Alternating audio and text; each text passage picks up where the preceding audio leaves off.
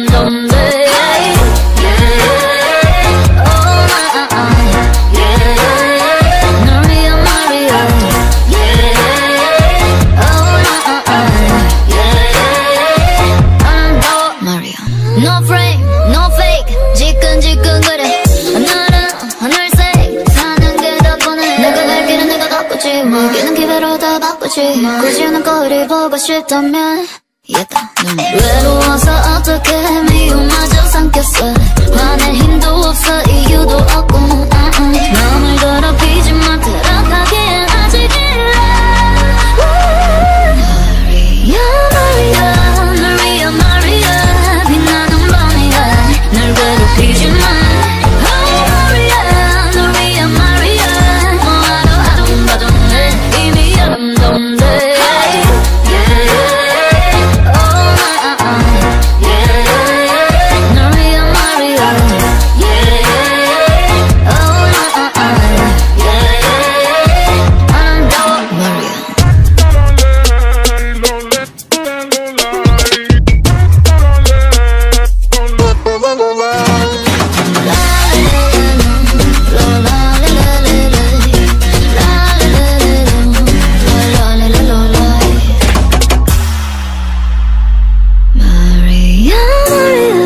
또 위에 말이야 빛나는 밤이야 널 괴롭히지 마.